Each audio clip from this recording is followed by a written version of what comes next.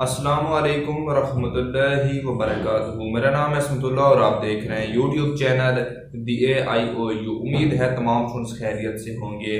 अल्लामा Iqbal open university ने अपनी जो तो पॉलिसी है, उसको मुकम्मल तौर पर तब्दील कर दिया है। आप ऐसा समझें कि यूनिवर्सिटी का जो सिस्टम है, वो मुकम्मल तौर पर तब्दील हो चुका है, जिसके बारे में आज की इस वीडियो के अंदर आपको इन्फॉर्मेशन दे दी जाएगी।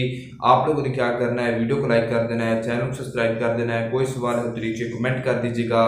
तो बगैर आपको टाइम वेस्ट करते हुए अपनी वीडियो को शुरू करते हैं। ये जो पॉलिसी है, ये एक तरह से नहीं, दो तरह से चेंज की गई है। सबसे पहले वो स्टूडेंट्स जो कि एम एम एस सी करना चाहते थे, उसकी जगह यूनिवर्सिटी बी एस अढ़ाई साल प्रोग्राम लेकर आई है। यानी कि जिनकी ग्रेजुएशन कंप्लीट हो चुकी है B A B com B S complete हो चुका है तो वो आगे बी एस अढ़ाई साल प्रोग्राम के अंदर एडमिशन लेंगे।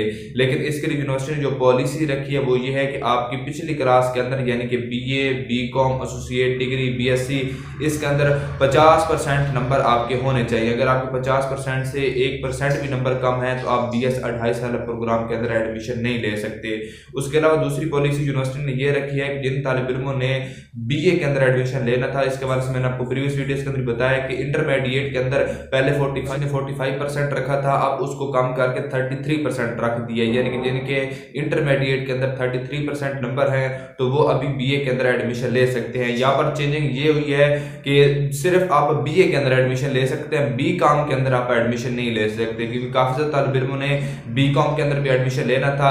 ये पॉलिसी सिर्फ़ और सिर्फ़ बी ए जनरल यानी कि एसोसिएट डिग्री जो है उसके ऊपर यूनिवर्सिटी ने लागू की है। अगर आप बी कॉम करना चाहते हो तो बी कॉम के लिए आपके फोर्टी फाइव परसेंट नंबर होने चाहिए बी ए करना चाहते हो तो थर्टी थ्री परसेंट नंबर होने चाहिए। तो, तो उम्मीद है ये वीडियो आपको अच्छी लगी होगी अपडेट आपको अच्छी लगी होगी। मिलते हैं वीडियो के अंदर तब तक के लिए मुझे इजाज़त अल्लाह